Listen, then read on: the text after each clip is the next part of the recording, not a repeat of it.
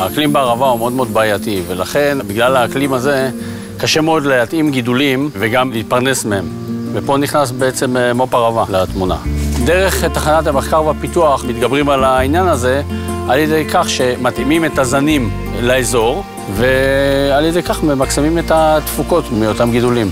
במסגרת תמיכתה בהתיישבות, קק"ל משקיעה מיליוני שקלים בפעילות מרכזי המחקר והפיתוח החקלאי בפריפריה. מרכזי המו"פ החקלאי מסייעים לחקלאים ליישם את הישגי המדע ולהציב את החקלאות הישראלית בחזית הקדמה בעולם. האזור הזה בערבה מבוסס 100% על חקלאות, וכל הידע וכל העתיד של האזור הזה נמצא במקום הקטן הזה. תודות לקרן קיימת לישראל שמסייעת לנו לקדם את כל המחקר החשוב הזה במו"פ ערבה.